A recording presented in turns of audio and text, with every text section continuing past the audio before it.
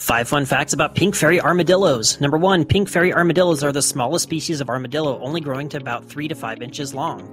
Number two, they are found in the central region of Argentina in dry grasslands and sandy plains. Number three, pink fairy armadillos are named for their pale pink shell and fur. Number four, their eyes are very small and their ears are nearly invisible, likely because they don't rely on sight or sound to navigate underground.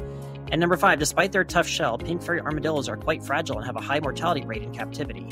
Leave a comment with your favorite fact or the next animal you want to see a video about. Like and subscribe for more fun facts.